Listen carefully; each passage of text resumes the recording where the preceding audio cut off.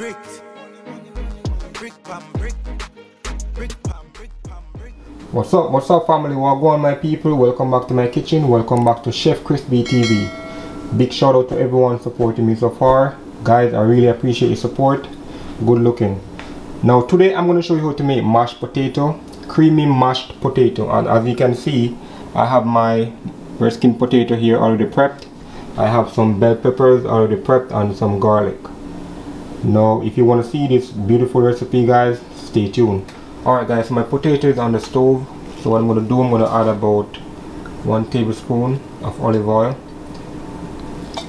And then I'm going to add about one tablespoon of salt. And potato should take about 10 to 15 minutes to cook. Alright guys, stay tuned. Okay, so it's important to leave your butter out before your potatoes are cooked. You're to leave it out and let it soften a bit. So some people they'll heat it up on the stove to melt it, but I don't want the butter to melt. I just want it to be softened a bit. And in a few, I'm gonna saute my bell peppers and my garlic and then add it to the butter. Stay tuned. Alright guys, so the potato is cooked. And this is my sauteed garlic bell peppers. So I set it aside to cool down, so now I'm just gonna add the bell peppers and the garlic to my butter.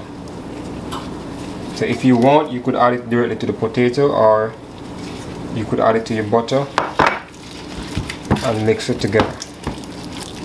And this is what I'm going to use to add to my mashed potato.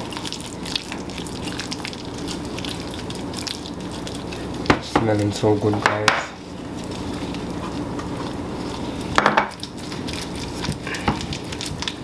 Alright, so I'm going to set this aside.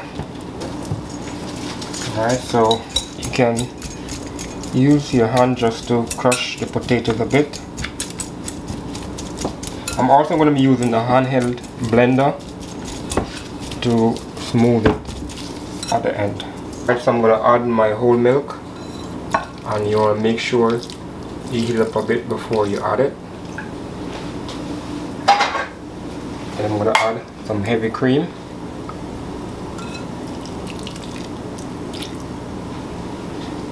And I'm gonna add some sour cream. So sour cream is optional, you don't have to.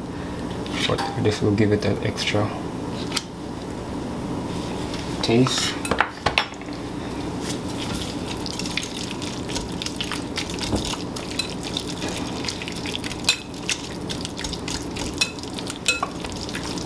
Add my butter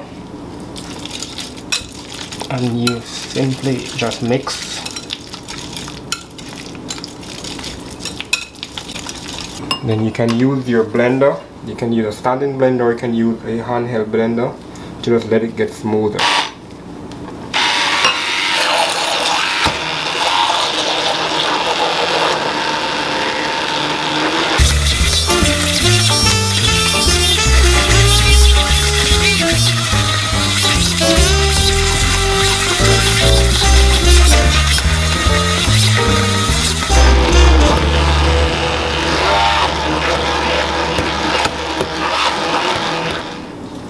guys, so you could have added black pepper and garlic powder earlier, but um, I chose to add it near to the end. So I'm going to add about half teaspoon of black pepper. I'm also going to be adding some salt. Well, I cooked the potato with salt, so I'm not going to add more salt. Just a little bit of salt. And also some garlic powder. I'm just gonna mix it.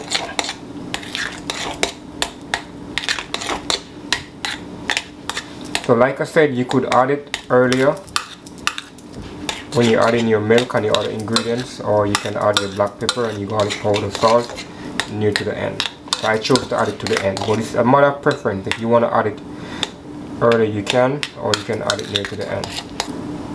Alright guys, so this is my finished product, my creamy mashed potatoes. I hope you guys enjoy this recipe and I hope you guys learn something from this recipe. And feel free guys to let me know what video you want me to do in the future. And feel free to share my channel guys. Feel free to watch my other content guys. I really appreciate you guys supporting me so far. Alright guys. Thank you for checking in today. This is my creamy garlic mashed potatoes. Chef ChrisB out 一爷们